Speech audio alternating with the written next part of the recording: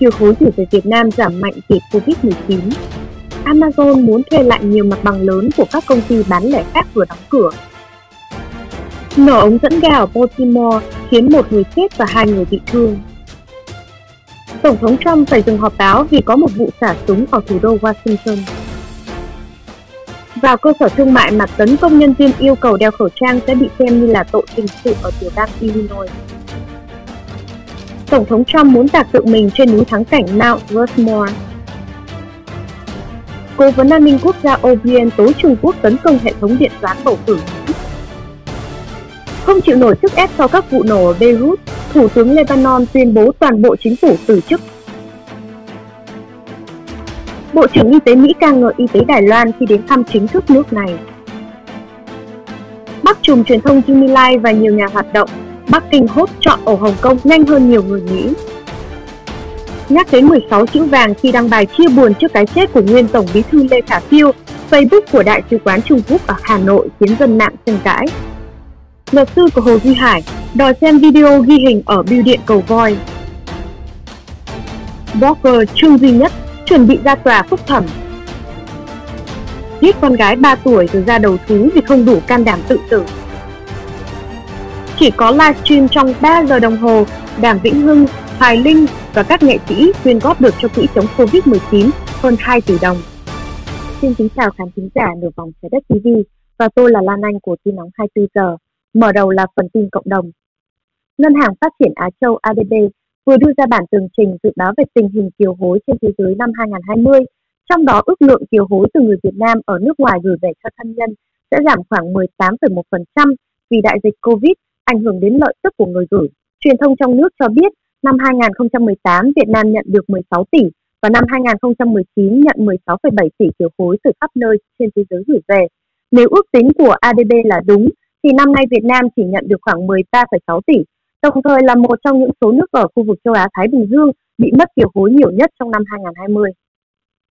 Theo CNN, công ty bán lẻ trên mạng lớn nhất trên thế giới Amazon có thể thay thế các cửa hàng thời trang trong các shopping mall.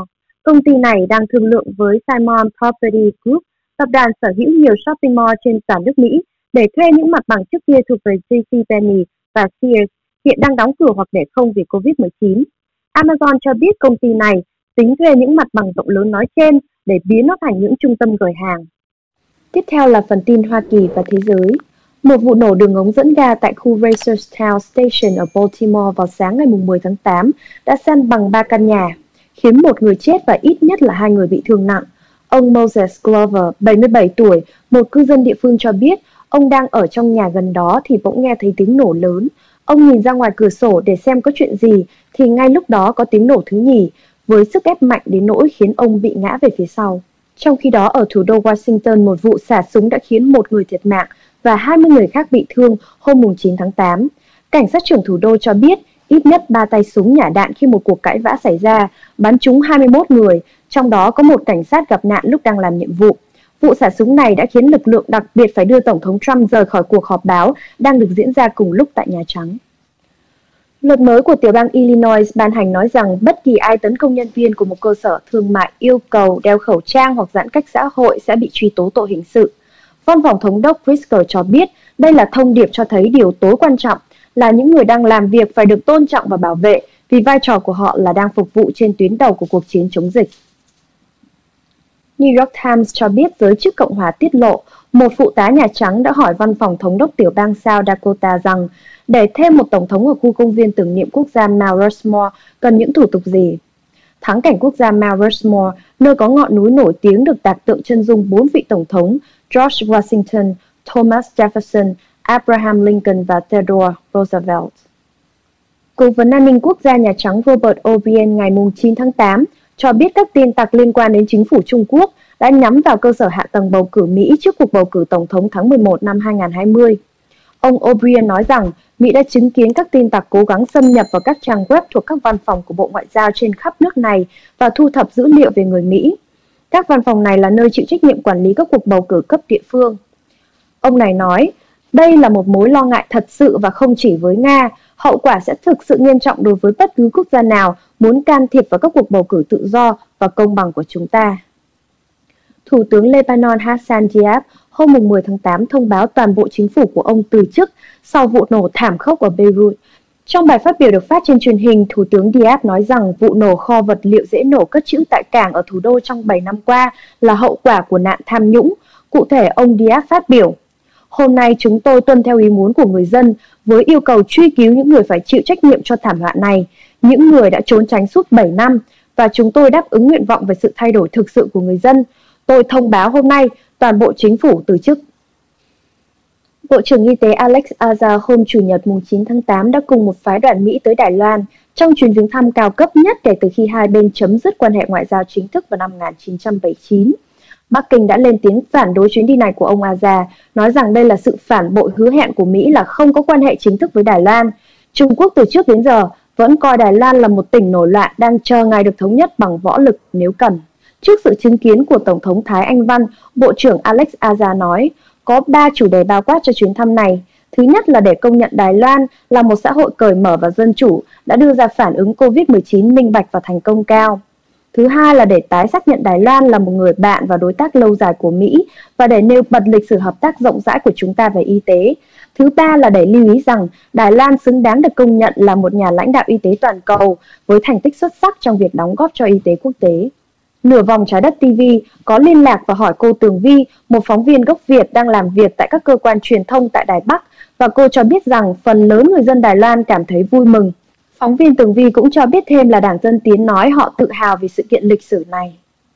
Cùng ngày trong lúc Bộ trưởng Y tế Mỹ đang thăm chính thức Đài Loan, thì cả thế giới đón nhận tin Trung Quốc bắt giữ ông Jimmy Lai, người được xem là ông trùm truyền thông tại Hồng Kông. SCMP cho biết đơn vị cảnh sát mới thành lập, chịu trách nhiệm thực thi luật an ninh, đã bắt giữ ông Jimmy Lai tại nhà riêng của ông ngay khi hừng đông mùng 10 tháng 8, rồi sau đó đưa ông đến trụ sở tờ báo để khám xét. Một nguồn tin từ tòa soạn Apple Daily cho SCMP biết ông Jimmy Lai bị bắt với tội thông đồng với nước ngoài, có lời lẽ nổi loạn và âm mưu lừa đảo. Con trai của ông Jimmy Lai là Ian Lai và một số lãnh đạo trong tòa soạn báo Next Digital và Apple Daily của ông cũng bị bắt. Hơn 200 cảnh sát đã lục soát hai tòa soạn báo này. Ông Lai, 72 tuổi, được biết đến như một nhà phê bình tích cực phản đối Bắc Kinh và ông là một trong những nhân vật đóng vai trò nổi bật trong phong trào biểu tình tại Hồng Kông thời gian qua. Trong một diễn biến khác, Trung Quốc cũng vừa bắt thêm các nhà hoạt động tại Hồng Kông, trong đó nổi bật nhất là Chu Đình, bạn thân của nhà hoạt động Hoàng Chi Phong.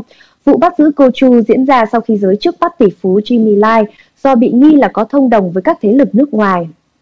Nhà hoạt động nổi tiếng Nathan Law thông báo trên mạng xã hội như sau. Chu Đình đã bị bắt theo luật an ninh quốc gia và chúng tôi vẫn đang đi thu thập thông tin về vụ bắt giữ.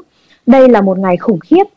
Kênh truyền hình Anh ITV tường thuật rằng Wilson Lee, một phóng viên tự do làm việc cho kênh này đã bị bắt, cũng với lý do nghi là thông đồng với các thế lực nước ngoài. Ngoài ra, ITV cũng cho biết một nhà hoạt động khác, Andy Lee, cũng bị bắt. Nhiều chuyên gia nhận định vì Covid-19 và những lùm xùm Mỹ-Trung khiến cả thế giới bớt chú ý đến tình hình Hồng Kông, đồng thời giúp Bắc Kinh hốt trọn ổ Hồng Kông nhanh hơn là họ nghĩ.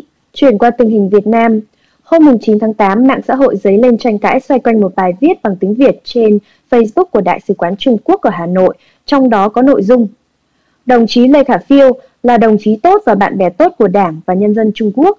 Trên cương vị Tổng Bí thư đã cùng với lãnh đạo cao nhất Đảng và Nhà nước Trung Quốc lúc đó xác định phương châm 16 chữ định hướng cho quan hệ Trung Việt.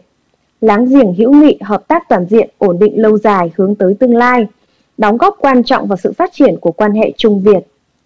Bài đăng nêu trên nhắc lại tuyên bố chung cấp cao vào hồi năm 1999 khi cựu Tổng bí thư Đảng Cộng sản Trung Quốc Giang Trạch Dân đã khái quát phương châm 16 chữ vàng và 4 tốt với người đồng cấp thời điểm đó là ông Phiêu để làm định hướng cho quan hệ song phương. Điều đáng nói ở đây là nội dung này ngay sau đó đã gây ra nhiều tranh cãi trên mạng xã hội, nhiều người đã bình luận trái chiều ngay phía dưới bài viết này. Còn nhớ hồi tháng 7 cũng trên fanpage này, bài viết mỉa mai về quan hệ Việt-Mỹ cũng đã phải gỡ bỏ trước sự phẫn nộ của cư dân mạng Việt Nam. Trong một hành động nhằm củng cố thêm các tài liệu chứng minh tử tù Hồ Duy Hải không phải là thủ phạm, luật sư Trần Hồng Phong nói trong một cuộc phỏng vấn phổ biến trên YouTube hôm 9 tháng 8 cho hay như vậy, khi ông gửi đơn tới Ủy ban Tư pháp Quốc hội Việt Nam, cơ quan điều tra Viện Kiểm sát Nhân dân tối cao, Biêu điện tỉnh Long An. Theo luật sư Phong, nếu còn có các hình ảnh ghi lại trên camera theo dõi an ninh của biểu điện cầu voi, người ta có thể xác định được Hồ Duy Hải có mặt vào lúc án mạng xảy ra đêm 13 tháng riêng 2008 hay không, hay là kẻ khác là thủ phạm. Tuy nhiên, không rõ lời yêu cầu của ông có được thỏa mãn hay không. Công an quận Bình Tân đã bắt giữ nghi can Nguyễn Thị Thúy Hằng, 32 tuổi, quê tỉnh Bến Tre, để điều tra về tội giết người. Nạn nhân là bé gái 3 tuổi, con ruột của nghi can. Theo báo Người Lao động trước đó, vào sáng 6 tháng 8, bà Hằng đến trụ sở công an đầu thú và khai nhận đã giết con mình tại một nhà nghỉ ở phường Bình Trị Đông B, quận Bình Tân. Bà Hằng cho biết ngày 5 tháng 8, bà ôm con gái đến nhà nghỉ thuê phòng để tự tử. Tại đây, bà Hằng đã dùng dây sạc điện thoại siết cổ con gái đến chết. Sau khi giết con, bà Hằng ra kênh Tàu Hổ quận 4 định nhảy xuống sông tự sát chết theo nhưng không thực hiện được ý định. Sau đó, bà tiếp tục đi đến cầu Sài Gòn quận 2 và một chung cư ở khu dân cư Trung Sơn, quận 8 định tiếp tục tự tử nhưng vẫn không dám nên đến công an đầu thú. Qua làm việc, bà Hằng khai con mình bị bệnh hiểm nghèo, gia đình lại không có tiền chữa trị, cuộc sống bị bế tắc nên bản thân bị trầm cảm nặng dẫn đến nghĩ quẩn. Tổ chức Project 88 cho biết, blogger nổi tiếng Trương Duy Nhất sẽ ra tòa phúc thẩm ngày 14 tháng 8 tới đây. Hiện ông Trương Duy Nhất đang bị giam ở nhà tù huyện Thanh Oai, Hà Nội, chờ ra tòa kháng án bản án 10 năm tù sau khi bị cáo buộc lợi dụng chức vụ quyền hạn trong khi thi hành công vụ. Theo Điều 356 Bộ Luật Hình sự, khi ông còn đang làm trưởng văn phòng Đà Nẵng của báo Đại đoàn kết.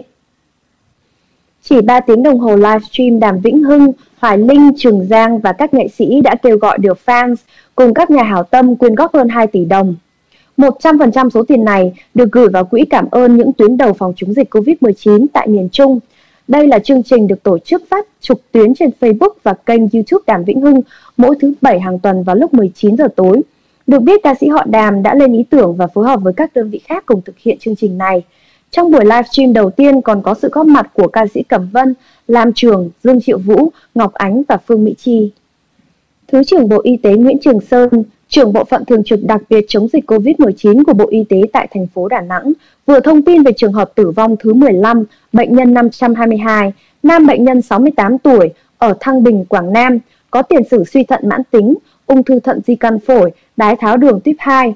Trước đó, Việt Nam cũng ghi nhận một bệnh nhân COVID-19 33 tuổi tử vong. Đây được xem là một ca tử vong trẻ nhất tính đến thời điểm hiện tại. Và bản tin tới đây là kết thúc. Xin cảm ơn quý vị đã quan tâm theo dõi. Xin chào và hẹn gặp lại.